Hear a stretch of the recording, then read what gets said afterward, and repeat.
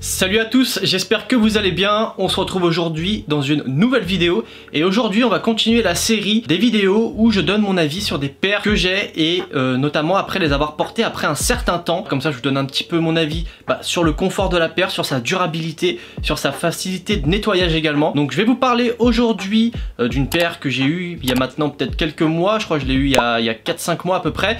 Il s'agit de la Nike en collaboration avec Sakai et c'est la Vapor Waffle et je voulais vous faire mon retour d'expérience sur cette paire là euh, que j'ai beaucoup porté voilà qui était un petit peu on va dire ma paire all day pendant un moment voilà je mettais que celle-là. Je n'ai jamais nettoyé cette paire également. Comme ça ça me permettra de donner un réel avis aussi sur comment elle prend la saleté et si ça semble difficile ou non à nettoyer. Je vais vous présenter ça. J'espère que ça vous plaira. Et sur ce on y va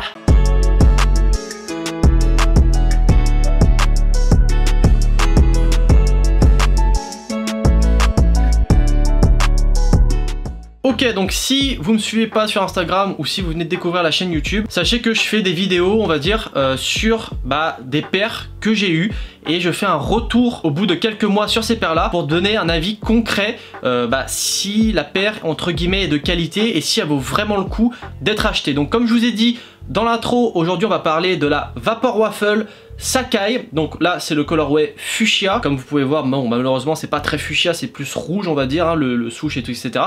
Mais euh, on va regarder plus en profondeur la paire, donc c'est une paire comme je vous disais que j'ai portée beaucoup de fois, voilà, que je mets tout le temps presque, même encore maintenant, parce que euh, c'est une paire que je trouve très belle esthétiquement parlant, euh, je trouve qu'elle a un vrai délire, même si je la trouve pas au-dessus des LD Waffle en termes de design, elle s'en rapproche quand même pas loin, elle est juste derrière, et derrière elle je mettrai la Blazer Sakai, parce que franchement la Vapor Waffle, je trouve qu'elle a un super délire, voilà déjà comme vous pouvez le voir elle reprend vraiment tous les codes de la mode actuelle entre guillemets, tout ce qui est un petit peu voilà euh, dans le délire fashion, conceptuel, donc voilà avec le, gros talon derrière, une grosse paire un peu chunky shoes et franchement c'est une paire qui m'a beaucoup étonné. C'est-à-dire que quand je l'ai eu, que je l'ai mis au pied, tout d'abord on m'avait dit qu'il fallait prendre une taille au-dessus parce qu'elle taillait petit etc etc.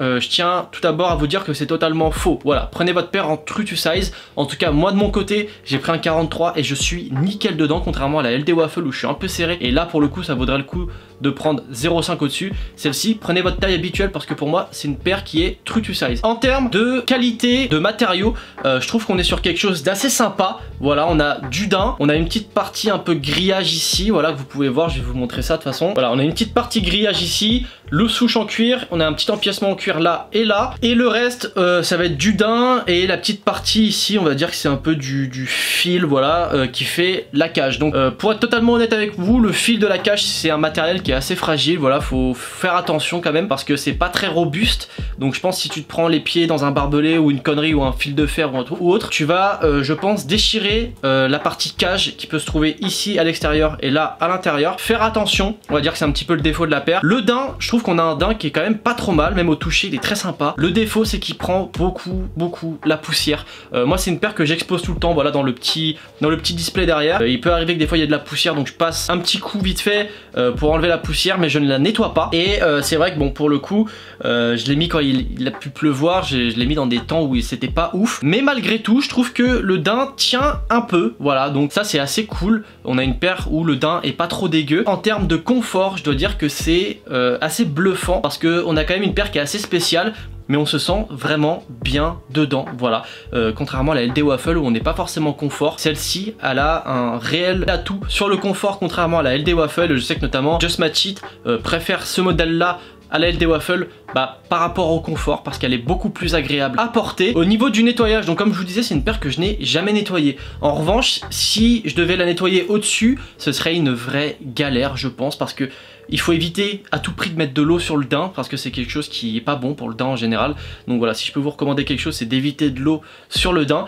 Et quand tu nettoies avec du crêpe protect ou autre, t'es forcément à un moment obligé de mettre de l'eau. Et là, ça va commencer à être compliqué pour nettoyer le daim de ta paire. En revanche, pour nettoyer tout ce qui va être la cage, la semelle, etc., ça reste plutôt simple. Même si je pense que la semelle n'est pas évidente à revoir, notamment la deuxième. La première très simple, mais la deuxième ça va être beaucoup plus compliqué. Vous pouvez voir qu'elle est un petit peu salie, parce que voilà, bon bah je l'ai jamais nettoyée comme je vous disais. Elle est un petit peu salie, voilà, même derrière. Je fais quand même attention quand je porte mes paires à pas euh, mettre mes pieds n'importe où, hein, voilà, comme un peu tout le monde je pense. Donc c'est une paire que j'avais payée prix retail, voilà, que j'ai payé, c'était 170 ou 180 euros, je sais plus exactement. Donc ça quand même pas donné pour une paire. Après ça reste quand même une collab, une collab qui marche très bien et qui est très sympathique. On a une paire qu'on ne voit pas tous les jours non plus, donc ça vaut En revanche au resell la paire est quand même pas donnée, voilà j'ai vu que la dernière vente c'était fait à 519 euros et euh, en achat immédiat elle est à 570 euros. Donc c'est une paire qui est quand même pas donnée, c'est pas celle qui cote le plus, euh, pourtant c'est celle que je vois le moins, alors je sais pas si c'était la plus limitée ou pas, euh, mais je sais que c'est la black qui cote le plus. Et c'est vrai que l'avantage de la black c'est que on verra pas bah, les salissures dans le temps. Pour porter la paire, alors c'est pas une paire qui est évidente à matcher, dans le sens où si vous portez des pantalons plutôt serrés, plutôt slim, ça va pas trop le faire dans le sens où c'est une grosse paire, donc voilà je vous conseillerais toujours de porter un pantalon large avec cette paire, voilà, pour que ça recouvre entre guillemets un peu le dessus et le derrière, euh, parce que c'est quand même une paire qui est très balèze, euh, ça paraît peut-être pas en main comme ça, mais voilà, si je mets ma main dessus, vous pouvez voir quand même qu'elle fait euh, une bonne taille, elle est assez grosse, voilà, faut aimer les grosses paires, moi c'est quelque chose que j'aime bien, hein. voilà, j'aime bien les Jordan 5, les Jordan 4, etc., donc c'est des grosses paires quand même, celle-ci c'est une grosse paire aussi, donc moi ça me dérange pas forcément, après je sais qu'il y a des gens qui sont pas forcément fans des grosses paires en général. Mais pour le coup, celle-ci fait vraiment le taf. Alors, le, petit défaut aussi que j'ai trouvé sur celle-ci, c'est qu'en fait, de base, on avait des lacets noirs avec, donc qui sont plus fins pour faire le passage avec le double lacet du coup que j'ai retiré parce que je trouve que ça n'allait pas forcément ensemble, je trouvais pas ça très joli. Euh, j'ai essayé du coup de mettre d'autres lacets et malheureusement les trous ne sont pas assez gros pour faire passer un deuxième lacet. Euh, ce qui fait que quand tu les mets, en fait ta paire est beaucoup plus serrée, on dirait que t'étrangles la paire, euh, t'habilles un petit peu aussi les œillets au passage, donc j'ai préféré euh, rester sur quelque chose d'assez simple et laisser qu'un lacet blanc euh, qui je trouve est plus joli à mon sens, mais ça, ça reste personnel bien évidemment. Donc voilà, en conclusion, c'est quand même une paire qui est assez quali euh, dans son ensemble. Je trouve que pour le coup, on a une paire qui est pas trop dégueu, notamment de par une collaboration, parce qu'il arrive souvent qu'avec les collabs, etc., on n'est pas des paires de super qualité. Et là, pour le coup, bah franchement, même au recel, je dirais que ça vaut le coup cette paire parce qu'elle est vraiment très sympa, déjà esthétiquement parlant, c'est une paire qu'on voit pas tous les jours, qui est pas très compliquée euh, à nettoyer, je pense plus vers le bas que vers le haut comme je vous disais, qui en plus est très esthétique, euh, bon même si c'est un petit billet, on va pas se mentir, euh, si vous avez les moyens de le faire et que vous avez envie de la paire mais que vous hésitez, moi si j'étais à votre place, je n'hésiterais pas, parce que franchement c'est une super belle paire. Alors après je sais qu'ils vont en sortir d'autres, sans la cage. Alors moi j'aime un peu moins parce que déjà la paire est assez balèze. Le côté cage affine quand même un peu le upper. Le fait qu'ils vont mettre euh, un délire un peu nylon, ça va grossir encore plus la paire, donc je pense à être un peu plus, euh, un peu plus gros encore et peut-être un peu plus compliqué à porter, même si le colorway crème est quand même très sympa, on va pas se mentir, mais euh, je préfère largement ce côté grillage qu'apporte les premières Vapor Waffle. Je pense que c'est une paire dans le temps malgré tout qui va se salir, voilà, qui va prendre la poussière, qui va commencer à se détériorer notamment au niveau du daim, parce que là voilà ça commence déjà un petit peu, même si c'est léger, hein, je vous ai montré tout à l'heure, ça reste assez léger sur le daim. Voilà, ça se détériore un petit peu, on voit que le daim change un peu de couleur. Donc voilà, ça va se détériorer dans le temps quoi qu'il arrive, ça reste normal j'ai envie de dire.